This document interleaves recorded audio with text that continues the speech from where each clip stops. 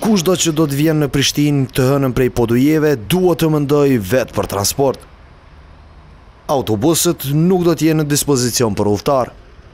Pronarët e kompanive e shoferët e tyre do të hyjnë në grevë, meqë thonë se po dëmtohen nga taksitë ilegalë që operojnë në këtë relacion. Po, do të mbajmë grevë se taksistët ilegalë nuk po na lojnë me punue, kështu ne nuk mund me egzistu. Qëse vazhdojnë kështu ne do të mbyllim këtu punën krejt. S'mund as obligimet, as shpenzimet e mi, me i mbulu.